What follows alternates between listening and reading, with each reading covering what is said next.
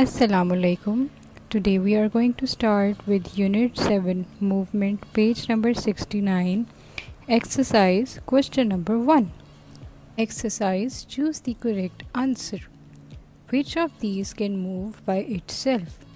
A horse, B tractor, C wheelchair, D book. The correct answer is A horse horse can move by itself because horse is a living thing and horse has four legs to move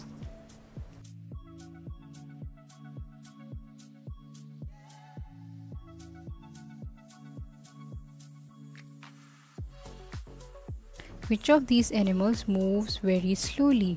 A. Cheetah B. Eagle C. Snail D. Dolphin The correct answer is C. Snail cheetah moves very fast, eagle flies very fast, snail moves very slowly because they have to produce certain slime liquid with which they move.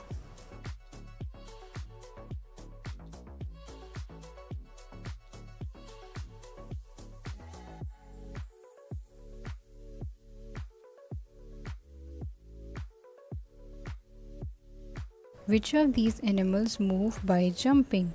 A fish, B snake, C frog, D turtle. The correct answer is C frog. Fishes swim in waters, snake moves slowly, turtle they walk very slow with their legs, but frog they jump very fast. Allah has made frog in such a manner that they jump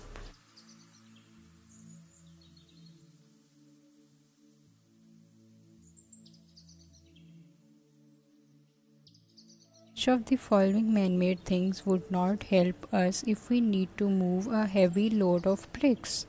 A truck, B wheelbarrow, C train, D plastic bag. The correct answer is D plastic bag.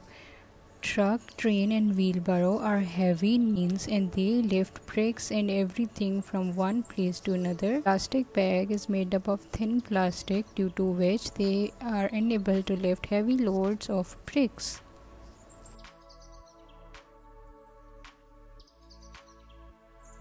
of the following is the push force a. Closing a door B. Opening a cabinet C. Flying a kite D. Reading a book